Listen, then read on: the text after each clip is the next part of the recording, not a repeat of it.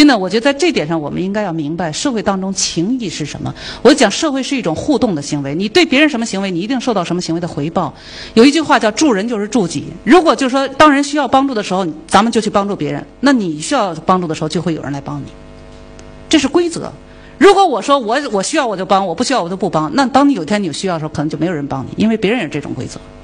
所以我们应该形成一种互动，叫互动就是什么呢？大家都彼此有情有义，这样呢，我们才能够。你比如四川地震，我们大家都来帮，那么别的地方大家就会觉得，那四川同志也会帮。你看这次唐山地震，有很多人跑到四川去帮忙，因为他们曾经被人帮过。